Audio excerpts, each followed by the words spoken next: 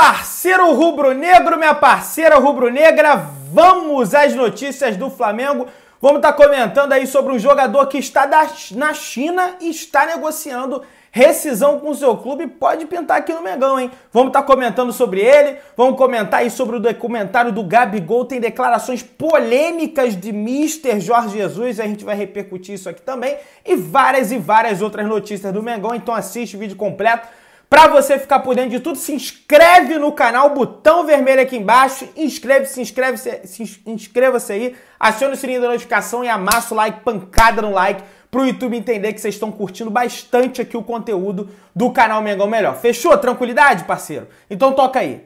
Tocou? Então vem comigo, Rubro Negro, vamos às notícias do Flamengo e tá aqui, ó.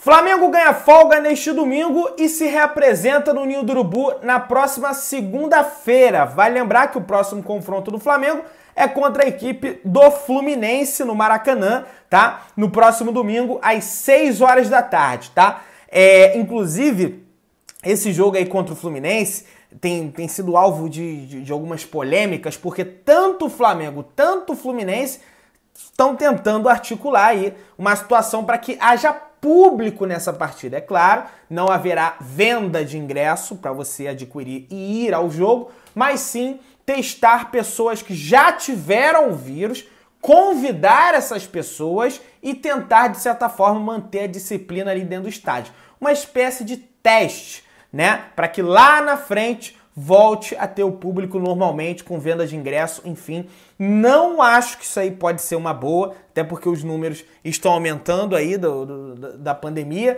Tem, tem a questão do, do prefeito Eduardo Paes, que decretou que os bares e restaurantes aqui da cidade do Rio de Janeiro não funcionem até as 5 horas da tarde, tá? Quer dizer, funcionem, na verdade, não funcionem, eu falei besteira. Funcionem somente até as 5 horas da tarde, então certamente uma medida dessa também teria que ter o aval, a autorização da prefeitura e das autoridades sanitárias para que haja público nessa partida entre Flamengo e Fluminense. No entanto, o jogo está marcado para domingo às 6 horas da tarde no Maracanã. E o Flamengo começa a se preparar. Amanhã, na próxima segunda-feira, a garotada se reapresenta. O time profissional do Flamengo não se reapresenta ainda nessa semana, apenas no dia 15. Eu falo profissional, estou dizendo Gabigol, Arrascaeta. É claro que alguns profissionais já estão incorporados, como é o caso do Michael, que jogou a partida de ontem, né? Nós temos a presença do Hugo Moura, que é, é da base do Flamengo, mas já está incorporado aos profissionais, o próprio PP, o Ramon já jogou no profissional, o Mateuzinho, mas eu tô querendo dizer é toda aquela galera mais cascuda, campeã da Libertadores, Gabigol, né? Enfim, Bruno Henrique, todos esses atletas míticos e históricos do Flamengo. Ó, informação bem interessante que eu vou passar aqui para vocês agora. Eu sempre, ó, venho falando, venho conversando, quem assiste o canal aqui faz um tempo, já conversa aqui ó, com vocês ó, há muito tempo. Informação do Mauro César Pereira, jornalista e colunista do portal UOL, tem canal no YouTube, já foi jornalista do canal ESPN, dificilmente você não vai conhecer o Mauro César Pereira, que tem uma credibilidade imensa. E ele comentou o seguinte: Rogério Ceni, com sua comissão técnica, tem dado uma atenção especial ao Michael. O técnico, ao final das atividades, faz alguns exercícios juntos ao atacante, como drible, finalização, passe, definição de jogadas e etc. A ideia é recuperar o futebol do jogador.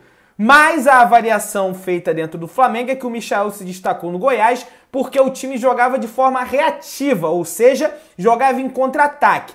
Há um entendimento na comissão técnica que Michael não tem facilidade para trocar passes e que não será fácil recuperá-lo. Será uma longa caminhada para recuperar o seu futebol e que vai depender muito do empenho do atleta para adicionar novas características ao seu repertório futebolístico. E eu sempre conversei com vocês essa situação do Michael. O Michael não é um brucutu. O Michel é peladeiro e não tem vergonha nenhuma em ser peladeiro. Já joguei pelada, provavelmente já jogou pelada. Só que ele é aquele jogador de pelada. Entendeu? O Michel tem que justamente treinar isso aqui, ó. Passe, finalização, definição de jogada, que são fundamentos que você adquire nas categorias de base.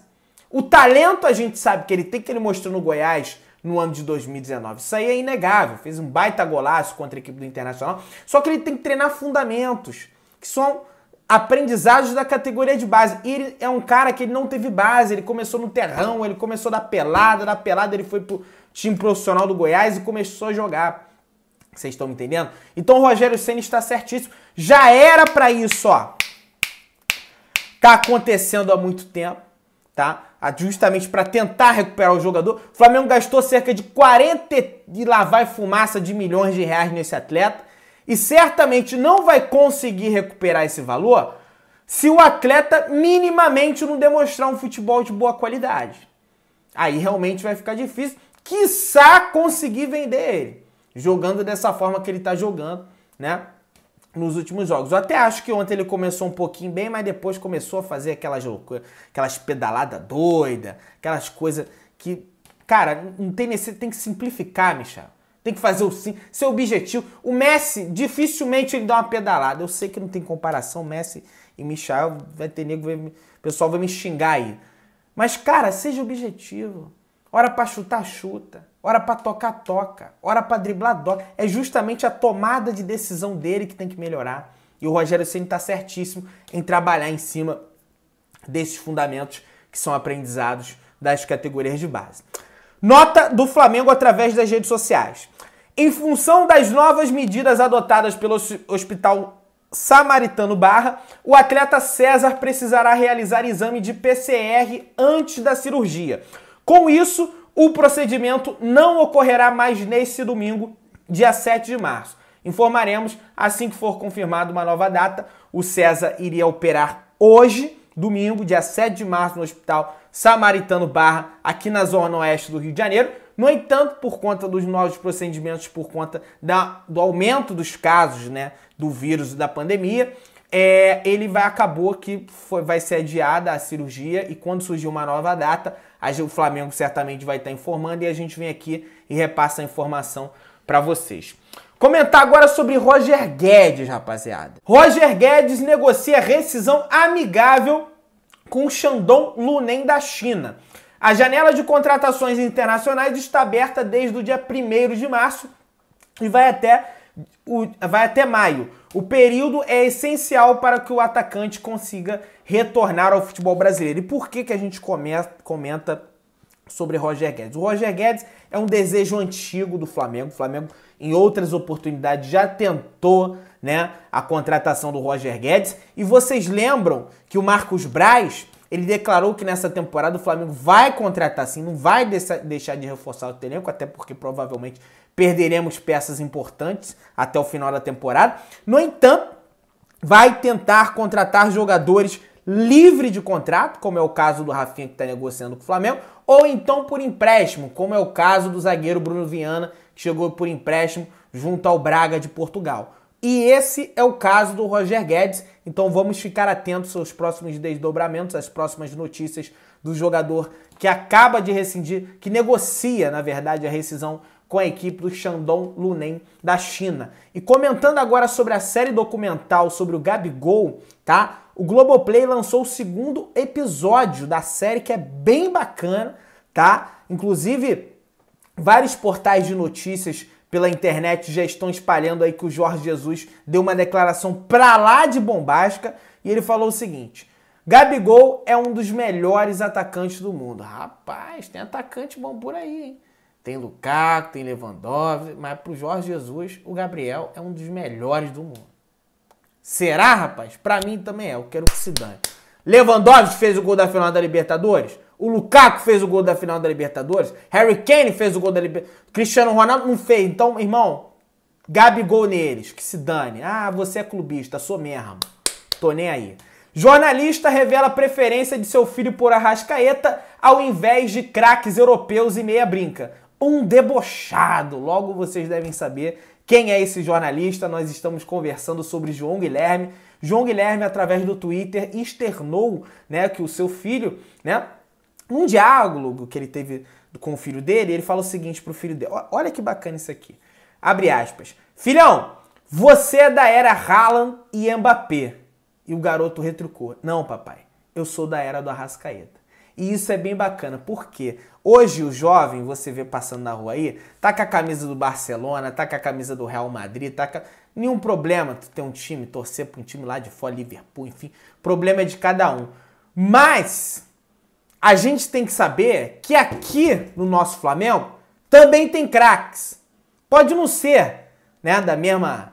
É, como é que pode dizer? Da mesma altura dos craques europeus, mas tem craques, tem caras que fazem histórias aqui também, que faz essa garotada, em vez de só olhar para a Europa, também olha aqui para o nosso umbigo, que é o Brasil e principalmente aqui no nosso Rio de Janeiro, que é o Flamengo. Então é bem bacana esse diálogo externado aí pelo João Guilherme através do Twitter. Valeu, João, por externar conosco. Vim aqui e trouxe no canal para vocês. Bom, nação, essas foram as informações e notícias do Mengão. Se, pô, se inscreve aí, meu. Porra, irmão. É só, porra, ó. Se inscreveu, pô. Se inscreve aí, aciona o sininho, amassa o like, segue no Instagram, Mengão Melhor. Em breve, sorteio do novo manto sagrado lá. Valeu, galera. Beijão, Deus abençoe geral. Tamo junto. Saudações de Bruneiro.